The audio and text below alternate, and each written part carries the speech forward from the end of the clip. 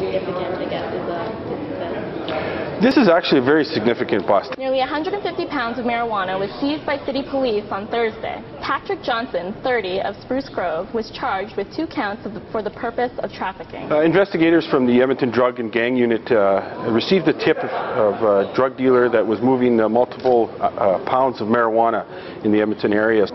Um, it's not going to have a major impact in the city of Edmonton, like on the streets, marijuana is readily available, but this group, it'll, it'll definitely impact them for, for a while anyways. The marijuana is worth over $400,000. Reporting for the Edmonton Sun, I'm Linda Hoang.